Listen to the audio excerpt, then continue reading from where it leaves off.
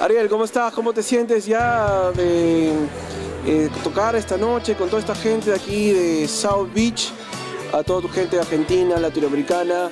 ¿Qué más se ve aquí en, de Ariel? Básicamente hoy lo, que se, celebra, vamos a decir así, es mi, cumpleaños en tapas y tintos. La verdad que feliz de ver tanta gente que, se acercó acá. Eh, no hay lugar para nadie y vos lo sabes bien. Así que bueno, contento, mostrando un poquito de música eh, con, mi guitarra y compartiéndolo para toda la gente. ¿Cuántos abriles si se puede saber? Claro, a honra 34 y seguiré cumpliendo, seguimos con tanto. Y ya tu experiencia como cantante, actor, a los 34 años, ¿qué, puedes este, sacar una conclusión? No sé, yo cuando vine acá eh, vine con sueños muy chiquitos que fueron, fueron avanzando y creciendo a medida que yo iba avanzando. Eh, no, no pierdo los sueños, siempre se, se inventan nuevos en mi cabeza y sigo poniendo las mismas ganas que al principio.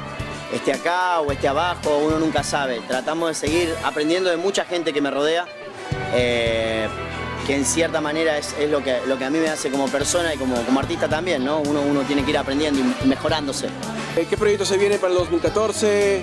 Eh, ¿Nuevo disco? ¿Proyectos de actuación? ¿Novela? ¿Cine? No, ahora me estoy preparando, pateé unas cuantas cosas para el año que viene. Eh, comienzo a grabar mi nuevo videoclip que se llama Juego Cruel, que es una versión en español que hice de una canción de, Chris Isaac llamada Wicked Games, que ahora después la voy a estar interpretando en el escenario.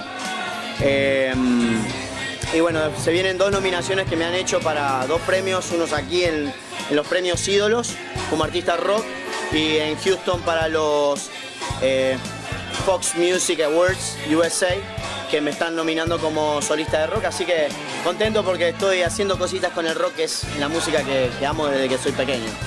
Un saludo para Toby en la tele y para todos los que están, están mirando esta sintonía.